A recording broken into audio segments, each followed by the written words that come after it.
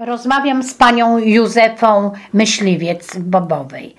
Pani urodziła się w 1926 roku. Proszę opowiedzieć o swoim dzieciństwie. No więc ja bardzo dużo zapamiętałam mm, ze swojego dzieciństwa. Pamię pamiętam, jak była taka straszna zima i mój dziadek przynosił zamarznięte ptaki wtedy, wrony, sroki. I jeszcze wtedy nie umiałam dobrze mówić, więc na wrony mówiłam bluny, sroki. Owijałam, chciałam ich wyratować, ale nie dało się. Wszystkie były umarznięte. Potem pamiętam sobie, moja mama była koronczarką, robiła koronki, a ja przy mojej mamie siedziałam na takim małym stołeczku i wbijałam szpilki do poduszki. Mama mi mówiła tak, zrób tam ogródek, zrób drzewka i ja szpileczkami na poduszce takie domki robiłam, drzewka, pies, budę dla pieska. A mieszkaliście? Mieszkaliście na ulicy? Na ulicy Cichej tutaj od zawsze mieszkała ta rodzina Gucków. Od, od, Od pokoleń. od sześciu pokoleń. Y, To jest dzisiejsza ulica Świętej Zofii. Tak, to jest ulica dzisiejsza Świętej Zofii, więc ta ulica y, dawniej nie była taka. Nie było chodników, nie było oświetlenia, błoto było po kolana. Tak, ciemno było. I teraz są tu wszędzie chodniki. A tak prawie w pół tej ulicy to był taki wąwóz, nazywał się, par, mówili, wszyscy na to mówili Paryja.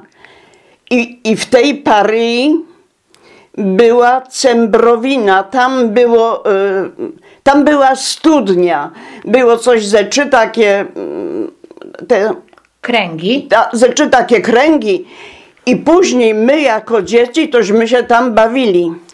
Tam były y, zwierzęta trzymane, tam był no, ogród zoologiczny w, tym, w, tej, w tej Cembrowinie. Dlaczego? No, no nie wiem, tak było. Ale jakie zwierzęta tam były? Koty. A, dzieci tam wrzucały? Dzieci tam przynosiły koty, każdy przyniósł kota, kota, małego pieska, no tam myś- tak żeśmy się bawiły. Później, jak byłyśmy trochę większe, to była zgrana banda dzieci z ulicy Cichej, które się bardzo lubiły, czubiły, latały, psociły. Pamiętam sobie, że bawiłyśmy się w wypukankę. Wypukankę. Potem zaczarowane masło. Coż to jest? Tak, taka była zabawa. Potem ptaszek stoi. No i takie jeszcze, jeszcze inne, inne. No i to był nasz świat. A proszę powiedzieć, bo jestem ciekawa. y, Ta ulica była zamieszkała przez, tylko przez Polaków?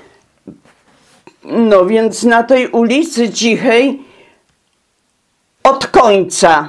To miesz... Czyli od kościoła. Tak, od kościoła. Więc mieszkały dwie takie starsze panny koronczarki. Tu Jak by- się nazywały? Helena i Tekla Tłuczek. Tłuczek. Tak. Tu mieszkała y, rodzina Gucwów w drugim domu. Czyli pani rodzina. y, tak, dziadkowie. dziadkowie, pradziadkowie. Następny dom to też mieszkali, y, no, katolicy to nazywali się, wiedziałam jak się nazywało, ale, ale to też była rodzina katolicka. W podwórku też mieszkał taki y, rolnik, nazywał się Lampa, który był też stróżem w Bobowej. Potem, potem mieszkał, był dom Landau, Baruch Landau, on był nauczycielem no, tych żydowskim. Y, Czyli tak. y, No i on, on, miał, on miał takich starszych uczniów. No i on też w zapleczu tam swojego domu, potem y, jak przychodziła Wielkanoc, macę tam piekł, macę, no i potem dawał swoim katolikom, no sąsiadom, przynosił. Potem był dom, taka panna mieszkała, pani Michalina mieszkała ale ona y, często wyjeżdżała z Bobowej, gdzieś tam pracowała dorywczą, także tam różni ludzie mieszkali, ale przed samą wojną to Żydzi w tym domu mieszkali. No i potem następny dom to był poczta, a na piętrze był posterunek, to następny dom. E, tak. Posterunek e, policji. Policji, tak. Potem, potem nas, w następnym domu to mieszkali państwo Siobowiczowie. On był ym, organistą. Pan Siobowicz był organistą. Później mieszkała pani Tomasiowa. Miała ta, to był jej własny dom, no najpiękniejsza w mieście, może kamienica na owe czasy, zbudowana w 1913 roku, tam była. Czy ta kamienica dzisiaj jest, stoi? jest, do dzisiejszego dnia istnieje. I ostatni dom w tej ulicy Cichej to był taki narożny, więc tam od ulicy, w tym takiej jednej dużej izbie, mieszkała żydowska rodzina. Ona, nazywali ją śpiącowo.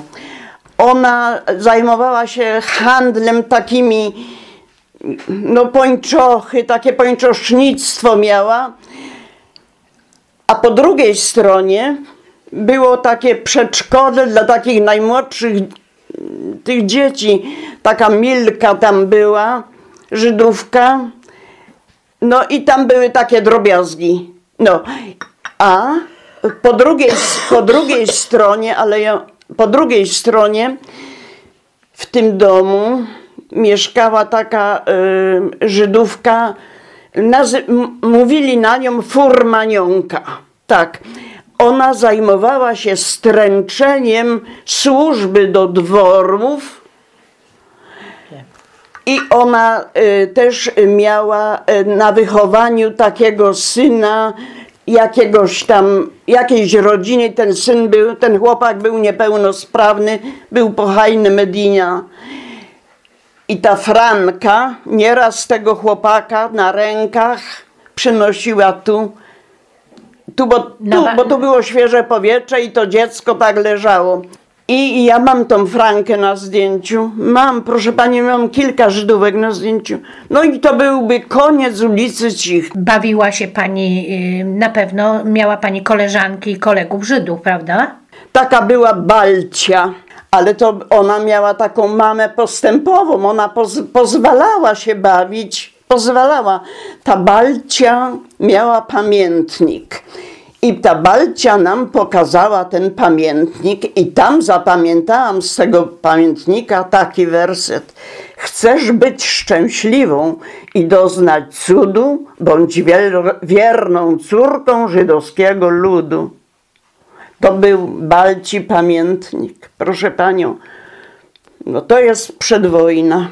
Przedwojna. A y, mówiła mi pani wcześniej, że potrafi pani zaśpiewać jeszcze piosenkę żydowską. Tak, ale to ta piosenka, ta piosenka, to proszę panią, powstała przed weselem, kiedy ten, kiedy rabin wydawał tą córkę, no, A to pani y, y, rabin wydawał córkę kiedy? Bo w ja, 30 którymś tam, tu jest, proszę panią, więc dlatego umiałam tą piosenkę, bo mój wujek, jeden i drugi, grali w orkiestrze i oni to, um- to grali to.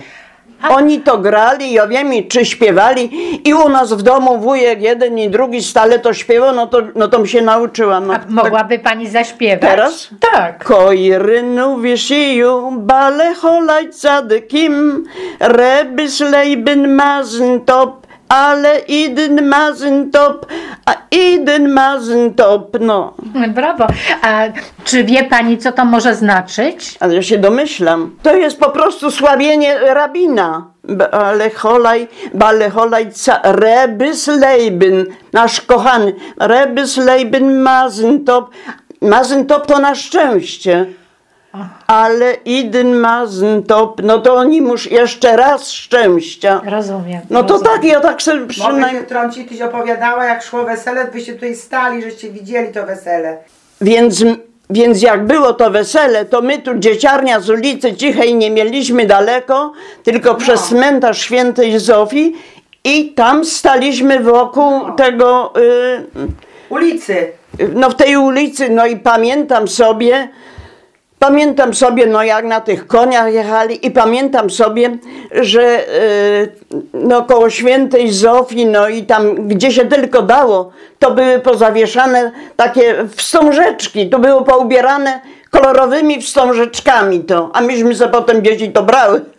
Rozumiem. E, dużo było ludzi na tym Proszę weselu. panią, strasznie dużo bo to wszystko z ciekawości. No i nasi, i nasi y, y, muzykanci grali przecież to. No. Czyli nasi muzykanci, mówi pani o orkiestrze bobowskiej. Proszę?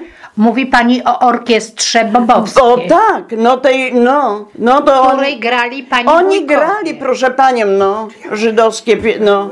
Czyli to jest dzieciństwo. A nie, moją panią to była od pierwszej klasy do piątej była pani Maria Wałkowa, a później to, się, to już była zmiana, to już były, przychodziły przedmioty, no to już, już, już potem nas uczyła pani Mikowa, pan Mika, pani Ślęczkowska doktorowa, no no i, i inne jeszcze panie, także taki pan był z Kujaw, nauczyciel Jurys się nazywał.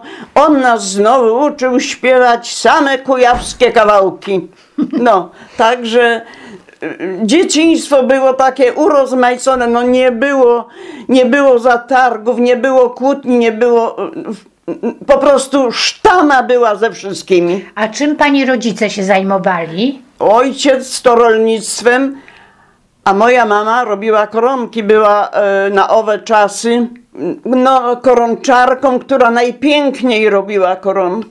Pani też jest, jest koronkarką. Tak, ja proszę panią, jak chodziłam do czwartej klasy, to już robiłam takie malusieńkie, takie malusieńkie koroneczki robiłam. I to potem moja mama sprzedawała tam u tego pana Muchy, takie to A kto to był pan Mucha? Pan Mucha jest tu w książce. Nie wiem. A Jest. proszę powiedzieć, kto to był? No on był bobowiak, przemysłowiec. On, proszę panią, y, z koronkami to wyjeżdżał do Stanów Zjednoczonych. Tak, on tam był w Ameryce nie jeden raz, proszę, dwa razy chyba był.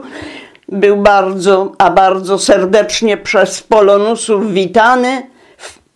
no, dawał im w prezencie koroneczki, pan Mucha. I on też, y, proszę panią, miał, y, miał mieć, ale, ale nie doszło do tego, bo nastąpiła wojna, y, wystawę koronek w Egipcie. I proszę panią, ja mam te pisma wszystkie. Co pani powie? W oryginale, nie, y, y, skserowane mam. Koronki. Y, Pani robiła pod okiem mamy. Tak. Czy z koronek można było uzyskać dochód jakiś, że on był znaczący dla rodziny? Ja wiem, no taki, taki wielki, znaczący. No była, to była pomoc. Pomoc. Mhm. To była pomoc, no bo przecież nie z, ze samych koronek nie wyżył. Tak, to zdaje się. Ale to była duża pomoc, proszę panią. Także ja tam w tych wierszach pisałam, dlaczego, jak to, co to wszystko. A pani brała też udział w tych festiwalach już e, współcześnie koronk Tu e, Bobowej? bobowej. Proszę panią, ja brałam od pierwszego festiwalu udział i kiedy zostało założone to Stowarzyszenie Twórczości Regionalnej, ja byłam w, komicie, w komitecie założycielskim i do dzisiejszego dnia jestem prawie, no nie jeszcze zdymisjonowanym sekretarzem. I proszę panią, ja jako koronczarka o pięknym opowiadaniu, o bobowej, o koronkach, o koronczarkach i jak to drzewiej, wy, i jak to drzewiej bywało, wygrałam no, nagrodę wyjazd do Egiptu. Była pani? Tak, ja byłam w Egipcie trzy razy.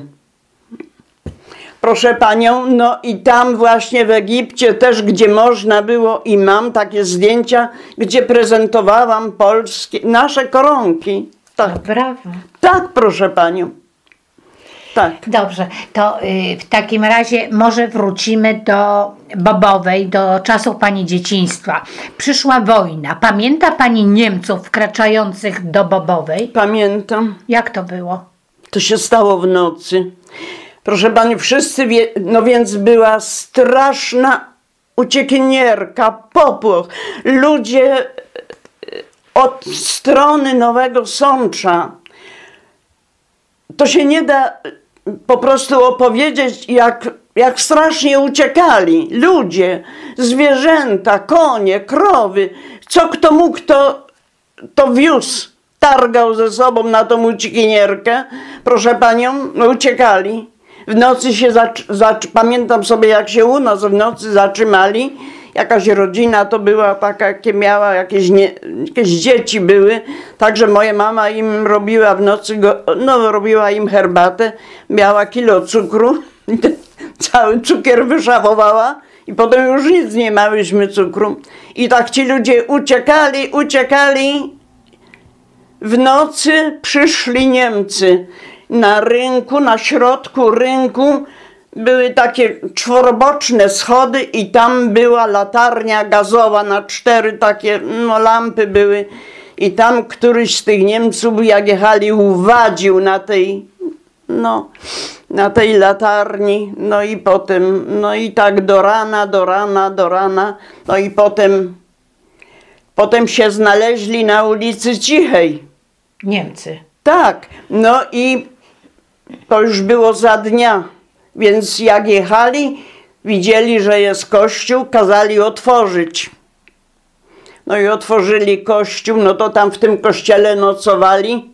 W kościele świętej Zofii. Tak, nocowali pełno, tu proszę panią, pełno wojska była, było, a tutaj na ulicy przecież to myśmy były dziećmi, myśmy się patrzy, patrzyły na to wszystko.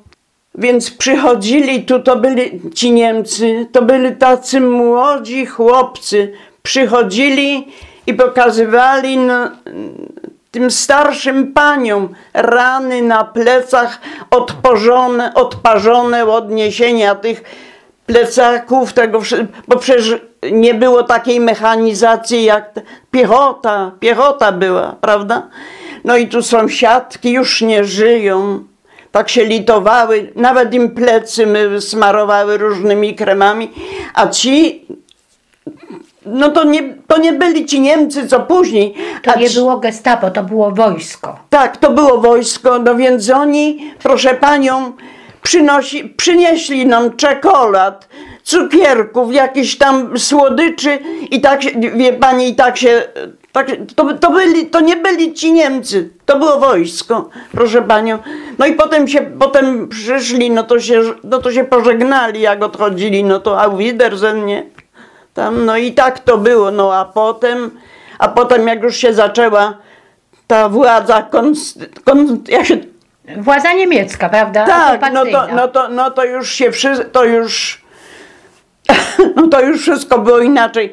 No i potem była godzina policyjna, było wojsko, było w szkole, tam zajęła e, armia, woj, tam w podstawowej, tam była szkoła, proszę panią, i no, policyjna godzina była. I pamiętam sobie, jak jeden, e, no jeden sąsiad nam opowiadał, że, że szedł i ten Niemiec mu pokazuje, że e, Polizeistunde, że jest ten, a ten mu powiedział, a, nie chcę powiedzieć tak brzydko, do dupy z twoją godziną, a to był Ślązok. A, On to rozumiał, wzięli go, proszę panią, i musiał całe schody tam przez noc myć za to. No, no i tak to się, no i tak to się różnie zaczynało, no. Coraz było gorzej, z początku to jeszcze każdy coś miał i w czym chodzić i co jeść, ale później się zaczynało coraz gorzej, głód zaczynał doskwierać, przecież nie było w czym chodzić, nie było butów, no, ja bym coś powiedziała, ale by się... Proszę. Mój dziadek miał wtedy nie wiem ile, 75 lat czy ile, calutką zimę leżał w łóżku, bo nie miał butów. No, także myśmy za niego te roboty gospodarskie, moja mama i tam jeszcze reszta robili, a dziadek, no tak było, no coraz to było gorzej, coraz, coraz było gorzej. Także u nas w domu, u nas w domu to jeszcze było nie najgorzej, bo było dwie krowy. Później jedną krowę Niemcy wzięli na kontyngent, a druga, ta jedna krowa została, a to była matka. No bo to, nas, to była nasza żebicielka. No więc, no więc, ile było dla nas mleka, to było, a resztę, no to przychodziły Żydówki, kupowały. Jakubowiczówny teraz tu od Landała przychodziły, bo można było jeszcze tak, że się sprzedawało te mleko, no i tak, że że jakosik, jakosik tam było, taki był obiad, to był zawsze tak było. Ziemioki z boszczem i kluski z mlekiem, takie, to, by, takie to było był, jedzenie. Był tego nie trzeba było maścić i tego nie trzeba było maścić, proszę Panią. Były bardzo ciężkie czasy, bardzo, bardzo. Y, sprawa żydowska i Niemcy. Jak to było w Bobowej? Getto? No więc z początku to się nic nie działo. Proszę panią, y, to pan y, ten Kowalski ma tak pięknie w kronice opisane. Ktoś dwa czy trzy razy tak z nienacka przyjechali, y, przyjeżdżali Niemcy, no i Żydzi nosili te gwiazdy Dawida, więc oni jak zobaczyli to tak na ulicy strzelali. Do tych Żydów? Tak. tak Widziała pani coś takiego? Ja nie widziałam tego. Ale proszę panią, y, no ale tak było.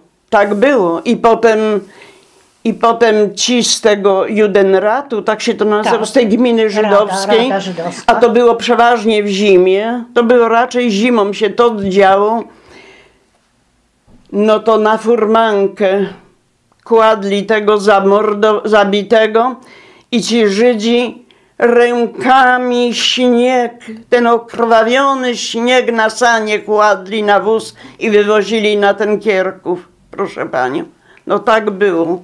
Jakubowiczówny, te Żydówki miały tam narożny dom, pierwszy dom w rynku od naszej strony.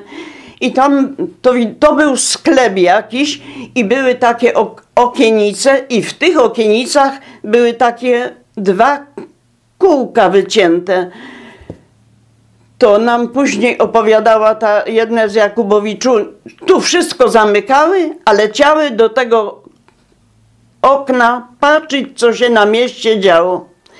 I proszę panią, jedna z tych Jakubowiczonek, a one były takie, to były postępowe Żydówki, one, one jako mężatki nie nosiły peruk, nie nosiły, proszę panią. A to Żydówki nosiły peruki? Tak, mężatki nosiły peruki. Tak, nosiły i to prawie, że jeden fason był tych peruk, nosiły. One nie nosiły, proszę panią. Było dwie te Jakubowiczówny i one tak jakoś były w wieku mojej mamy i no i także one tu do nas one mieszkały w Bobowej, potem wyjechały do Krakowa. W Krakowie miały jakieś, no, interesy, bardzo bogato tam y, funkcjonowały, miały sklepy. No i proszę panią, one tak mówiły do mojej mamy, Maniu, jak my przeżyjemy, to my o tobie nie zapomnimy. Moja mama y, podczas okupacji, nie wiem w którym to roku było, zachorowała na zapalenie opon mózgowych. No i pan doktor y, z Bobowej, lekarz y, Radzik, Marian Radzik ją leczył i wyleczył, ale co to były za leki wtedy? Wiem, że punkcję miała robioną, tak. I proszę panią, i wtedy ta, ta Jakubowiczówna to do mojej mamy przychodziła i w garnuszku jej przynosiła coś, co, co lepszego ugotowała. Czy jakiegoś barszczu czerwonego dobrego, czy jakiegoś rosołu. To przynosiła mojej mamie. Mówi, niedużo, ale żeby ona spróbowała, żeby ona spróbowała. I potem ta jedna z tych Jakubowiczówien, proszę panią, gdzieś koło domu była i jed, jakiś Niemiec ją zaszczelił, ona uciekała i wpadła do rzeki Białej. Wie pani? I potem ktoś ją wyłowił, no wyciągnął z tej rzeki i tam, gdzie Targowica dawniej była, ją przynieśli i ona tam leżała. Ja ją też widziałam. Nic nie była na, na, na twarzy zmieniona. Włosy, włosy miała swoje, takie czarne, krótkie i miała na sobie taką niebieską haleczkę, tak wyżej, wyżej kolan i tak leżała. Myśmy płakały, proszę panią, no bo się ją znał. Także, A druga przeżyła? Siostra jej przeżyła? proszę, nie, Nie. nie na, na rynek ich wy, wypędzili, nie przeżyła, proszę panią. No, ona miała jeszcze, ona miała jeszcze bratową, a bratową miała, a ta bratowa to była taka wsiowa Żydówka, bo to na wsiach też mieszkali. Proszę panią, to, e, to ona też do nas przychodziła po mleko i ona to nie, ona, ona nie ubierała opaski, bo ona była taka blondynka, tak ubierała się po naszemu.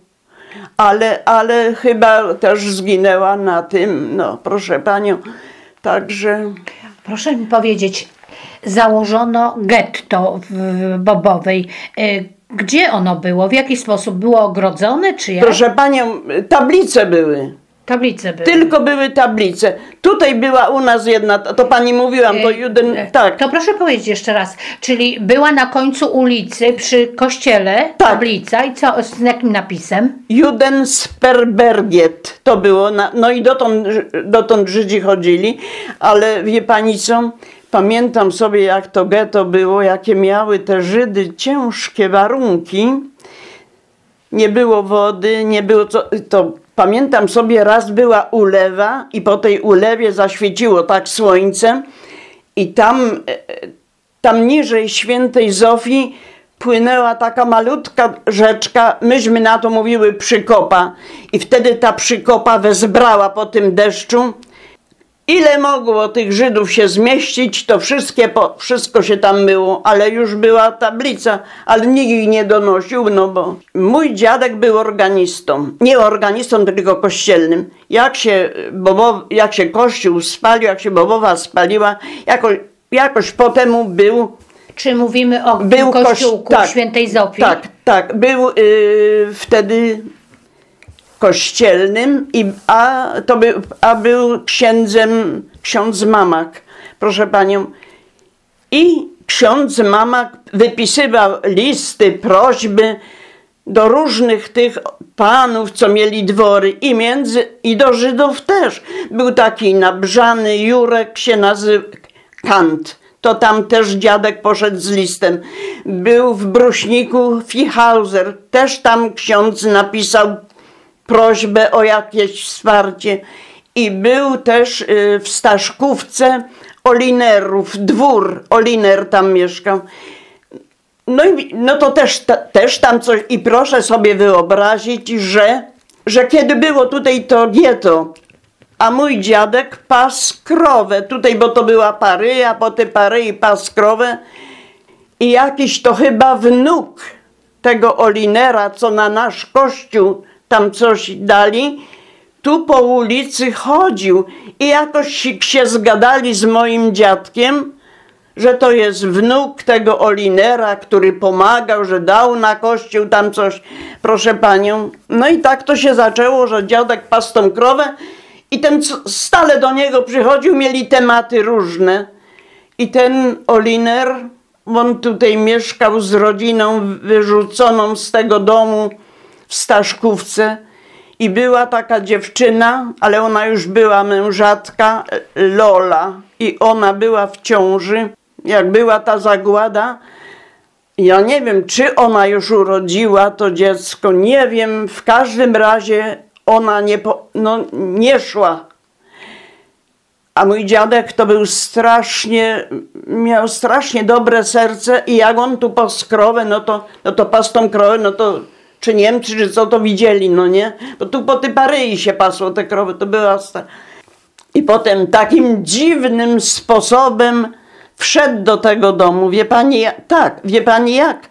Ten dom, co tutaj stoi, taki teraz ten nowy, to był taki, no to był dom niewybudowany, tak, tak no, rusztowania były, wszystko i dziadek jakoś od, oderwał dwie y, de, deski w facjocie, wie pani, a on był bardzo szczupły i wszedł tam, proszę panią, i słyszał jęki i tam podszedł do tej, do tej wnuczki, to dziecko tam, no miała to dziecko u, u, no urodzone, ale no, czy ja się tak dowiadywałam wtedy, no proszę panią, i przyszedł do domu, do nas i do mojej mamy, mówi, Manka, ona tam leży głodno, a proszę panią, a u nas się nie rozwalało, ale to mleko zawsze było i ta mąka w żarnach umielona była i nie było dnia, żeby nie, było, nie były kluski na mleku. I dziadek, dokąd oni byli, bo potem się zgłosili, potem to, to jej zanosił przez te, przez te facjoty i zanosił tych kluski na mleku w takim białym gor, gornusz, gorczku takim, proszę panią. No i tak to było, proszę nie, prze, pani. nie przeżyła też. Nie, no nie, bo szła na rynek w tręczu, miała chusteczkę pod brodą, z nią to dziecko niosła, proszę panią. To się nie da opowiedzieć, jakie to były widoki. To się nie da opowiedzieć. No i proszę panią, no i mam tą Jolę, tą na zdjęciu. Mam, mam, ale ona to była Żydóweczka wykształcona, bo ja mam jej zdjęcie z, ze szkoły, wie pani, 31 rok, no i z dedykacją, to takie panienki w mundurkach z białymi kołnierzykami, mam to zdjęcie. No świetnie. Widzi pani, no i mój dziadek ratował, a tego Żyda, tego Landała, tego nauczyciela tej, tej szkoły, proszę panią, jak się zaczęło, to wszystko jak się zaczęło, auta to wszystkie zajeżdżały. Pol, jak było na aucie napisane Pol, no to już wiadomo było, co się, co się będzie działo. No to nie ulicą, za tyłkami, bo nie było nigdzie ogrodzeń, płotów. Ten landał do nas przychodził taki roztrzęsiony, chustkę miał na głowie, tak pod brodą związane, a drugą miał taki, taki, taki szal, taki, tak z początku, jak jeszcze nie było tak ostro, to siedział u nas w pokoju za piecem, tam była szafa, tak za piecem, nie było go widać, ale potem jak się roznosiło, co ci Niemcy robią, no to do lochu do nas. Proszę panią, to takie były lochy dawni. Taki był loch, to nie było schodów. Był taki otwór, co się ziemniaki tam sypało. No to więc tego, tego, tego dziadka tam za ręce ktoś ich brał i tam... Do, do, do środka, do tego lochu. Tak, i on tam w tym lochu siedział i tam było ciemno w tym lochu, nie było okna. No a drzwiczki były takie dwa razy jak ta poduszka, drzwiczki. No to na te drzwiczki tam się y, beczkę z kapustą kładło albo beczkę z wodą, no tak dla niepoznaki. No i no ale do samego końca y, ten landał, dokąd można było, to do nas przychodził i się go ukrywało, proszę pani. Tak było. Proszę panią, gdzieś w sąsiedztwie mieszkała taka młoda mężatka, miała taką córeczkę, może była, może było trzy lata tej dziewczynce, Sunia, wie pani, ale ona była żoną, to ja wiem, z Brzany, co jego rodzice mieli dwór, Kant. Wie pani? To był Żyd? Tak, Żyd to był Kant, a ona mówiła do niego Manele, wie pani? No Manele, więc przychodziła do nas z tą dziewczynką, no i kupowała mleko, no bo jak się dziadek bardzo dbał o krowy, bo to była jego mleczarnia, także chodził, wyżynął trowy, gdzie się nie dało. Proszę panią, no i ona przychodziła do mojej mamy i tak prosiła, mama się nazywała Zarankowa.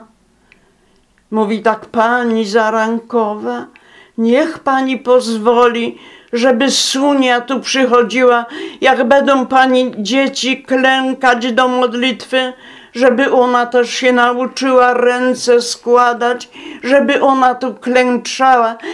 A ta dziewczynka A ta dziewczynka była prześliczna, nie wyglądała na Żydówkę, była taka blondyneczka, niebieskie oczy i stale się matki trzymała spódnicy. Mamy się, suni mojlech, suni mojlech, że się boi, wie pani? I ona tu przychodziła z tą dziewczynką stale, no ale czasem tak klękła, czasem nie klękła, no jak, jak dziecko. Ona, ona się bała po prostu, ona się cały czas bała, proszę panią. I proszę sobie wyobrazić, proszę sobie wyobrazić, wtedy dzieci nie miały takich luksusowych ubrań jak teraz. Były pończoszki, pończochy były i halterki takie szyte, prawda? Szyte tu, taka, taka drabinka tu była. No więc już po tym pogromie, po tym wszystkim, nie wiem za ile to było dni, czy, czy nie wiem za ile. A u nas tam w podwórku była stajnia, była szopa, co była słoma i był ustęp. I jakoś leciałam tam, nie wiem po co, i na drodze, na drodze takie, coś ich znalazłam. Przyniosłam do domu, to były takie halterki dziecięce. To były halterki dziecięce, ale tam mama gdzieś ich to rzuciła i rzuciła. I za jakiś, za jakiś czas, nie wiem za ile, było pranie, ale jakie to pranie było, jak nie było mydła, nie było. Mama robiła y, łuk z jakiegoś drzewa, nie wiem jak to. No i, no i wyprało się też te, te szeleczki. No ale wyprało się te szeleczki, wyschły i cosik takie sztywne, to było takie cosik sztywne. No więc mama wzięła i jakoś tak delikatnie rozpruła jedno to ramionczko i drugie. Z jednego ramionczka wyleciało 500 złotych, a z drugiego wyleciało 400 złotych. Proszę panią, to był straszny pieniądz. To był straszny pieniądz. I nie zaraz, no bo przecież nie można było zaraz. Mój dziadek poszedł do mleczarni, no bo chyba tam by rozmienił.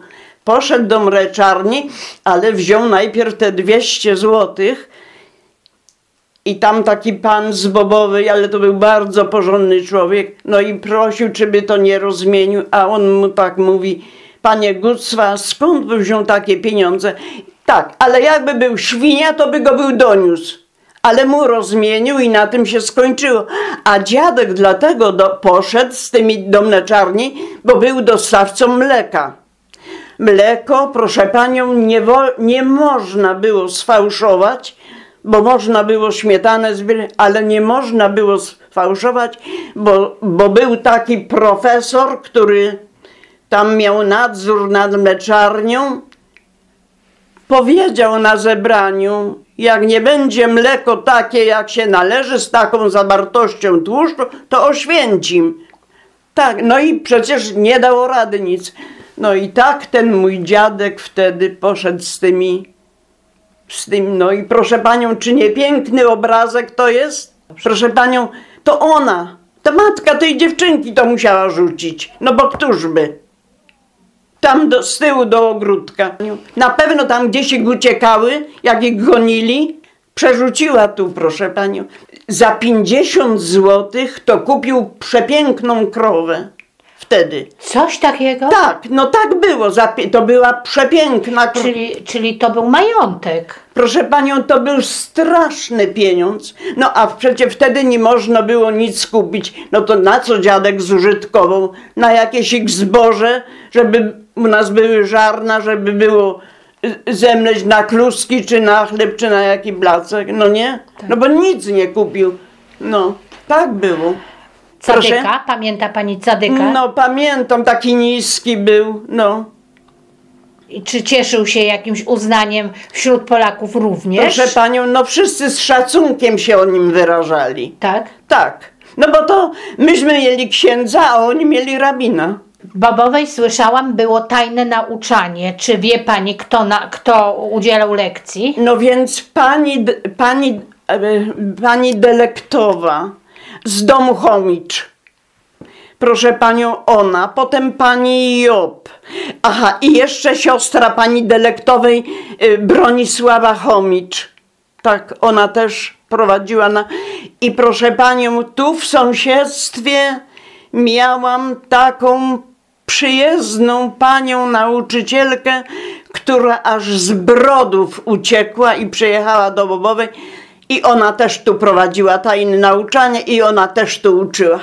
Było też w Bobowej tajne nauczanie. Z narażeniem życia uczyły te panie przepięknej miłości do naszej ojczyzny, jak ją czcić i kochać, szanować jej blizny.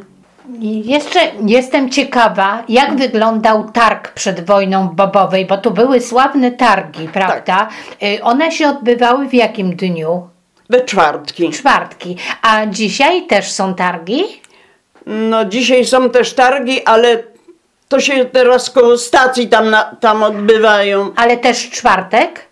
Też w czwartek. A- No ale tamte No targi. właśnie, wróćmy do tych targów starych. Ale tamte targi stare to były takie. e, Y, Przede wszystkim, gdzie, by, gdzie to się odbywało? Proszę panią, więc targi były na rynku. Na, na rynku Tak, nie było takiego, przecież nie było na rynku, tylko, by, tylko była ta latarnia, a tak to było Pusto. puste miejsce. No więc po jednej stronie, ja wiem jak to nazwać, od, od strony zachodniej, no to tam były beczki, sprzedawali ci, no, Bednarze. bednarze. Proszę pani, trochę wyżej drzewo stało, ćwiartki, y, półsągi, no. I proszę panią, a po, później tam, no i było też bardzo dużo przyjezdnych takich kupców, którzy mieli materiały takie, takie bale były różnych, różnych materiałów. No i była też konfekcja damska, męska. No sprzedawali cukierki, takie, takie, takie cukierki to takie raki były, ale żeby takich szczep... Y, jakie były te cukierki? Mówi pani raki, to znaczy? To były takie, no takie były nieduże cukierki, na, na wierzchu był, na, na, na papierku był rak. No, to, Aha, No raczki, taki tak, był rak. No i, a czekoladki to były po 5 groszy, branka się nazywała, brank, brank, branka była, Dobre no takie były? było. No i To smaczne? Dobre były, te, te czekoladki były naprawdę dobre. No, no i i jeszcze były takie cukierki, takie długie. Aha, i jeszcze były cukierki, no to się pani uśmieje, pnioki. tak? Takie były cukierki, takie okrągłe, no takie, no takie były i większe, i mniejsze. Ale pnioki na nich mówili, no takie Mhm, były, takie co ja pamiętam, proszę pani. Czy na takim targu dużo było ludzi? Bardzo dużo, bardzo A dużo. pani jako dziecko chodziła tam? No oglądałam, patrzyłam się co sprzedawali, proszę panią. Pamiętam sobie, jak jeden chłop, chłop raz przyszedł i tak kupował igły. Proszę panią, no na tym targu kupował igły, no tak trzymał w ręce i tak dobierał co większą. No, no, no i no. Y, W czasie okupacji targi też się odbywały, czy nie? Były też targi, ale co wtedy sprzedawali? Ale no przecież nie było artykułów żywnościowych. Kamienie, kamyczki do zapalniczki były, kamyczki, sacharyna, garnuszki porcelanowe, proszę panią. No wiem, co tam jeszcze, jakieś gałeczki, sznurków, takie było. No zapałki były, no, no. Osełki były do oszczenia kos. No co Czyli za... ludzi było na pewno mniej, prawda? Proszę? Ludzi mniej na takim No targu. było dużo mniej, a zresztą z początku to jeszcze może ludzie przychodzili.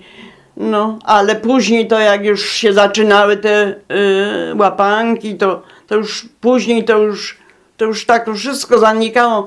Ale z początku, no proszę panią, no, no garnuszków porcelanowych to były całe stoiska. No takie z kwiatkami, takie różne. Nie wiem skąd to przyszło. Ale ładne? Ładne były, ładne, ale to, przyno, to panie handlowały, przywoziły i no, także. A kiedy kiedy zbliżał się koniec wojny, Niemcy y, zaczęli się szykować do ucieczki? Jak to wyglądało? Pamięta pani? Pracowałam, ja, ale proszę panią, ja pracowałam w okopach. Co to znaczy? No w okopach kopałam, oko- bo przecież tu była ta linia taka. No i przecież pracowałam w okopach.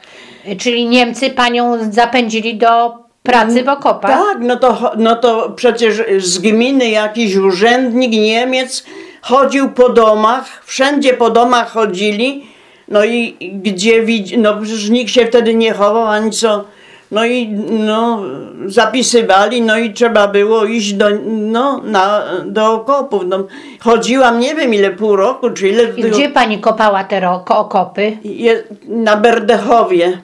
Tam było, tam na Berdechowie kopałam okopy, proszę panią, tam het, het, tam kopałam okopy, to nas dużo. Od, najpierw to się ścinało nad rzeką tą fasinę, to się ścinało to koło rzeki, żeby była widoczność z jednej strony i z drugiej. No to, no to tuśmy to ścinały, no. Proszę pani, potem do kopania też chodziłam, trzeba było dwa metry wykopać na długość i na wysokość. To było bardzo dużo na taką młodą dziewczynę, nie? Także pamiętam te okopy, pamiętam.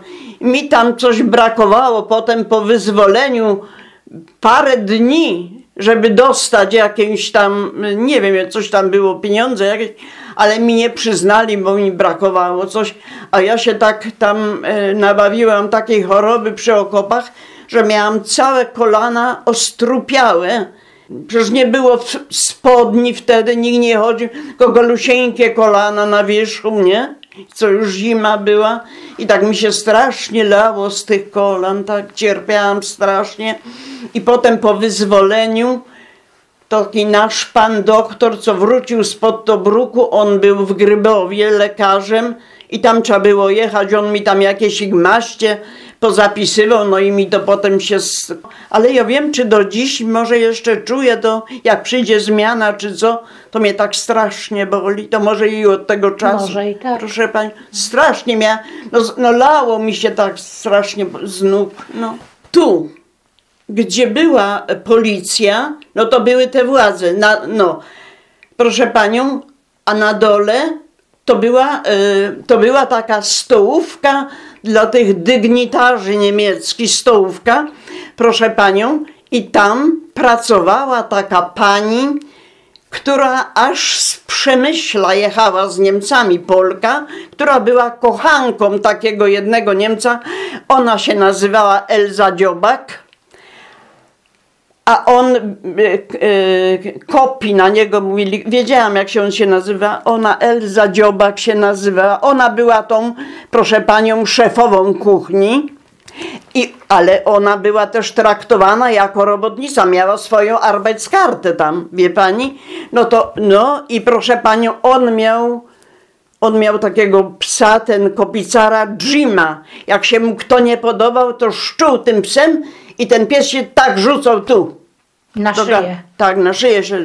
On, oni mieszkali, on, on z tą swoją mieszkał tam y, koło kościoła, już tego domu nie ma. No, widzi pani, ja tu zapamiętałam tyle. I potem, no i potem oni y, uciekali stąd. Gdzieś ich podobno koło Sącza dopadli, czy gdzieś, proszę panią. No to uciekali. No to w nocy, w nocy mówiłam pani, że, to, że tu Niemcy szli. Proszę pani, no i on się tutaj potem rozgościli. No i tak było. No a Rosjanie, więc ludzie, front się przybliżał, grzmiały już działa, niemiecka władza pouciekała. Przyszli minerzy, im rozkaz dali, ażeby mosty powysadzali tu koło świętej Zofii. A święta Zofia cud ten sprawiła, że wroga ręka już nie zdążyła lądu zapalić, mostu wysadzić, tej reszty ludzi ze świata zgładzić. Cieszą się wszyscy ci, co przetrwali, że dnia wolności się doczekali. Dziękują Zofii, że cud sprawiła i od nieszczęścia ich wybawiła. Napisała myśliwiec. Pani wiersz. No, no to tak było, proszę panią. No i przyszli. Mój dziadek nigdzie nie uciekł. Został, został w domu. Proszę panią, to by, ale to był stary dom, była taka stara szafa trójdzielna, ale to była strasznie stara.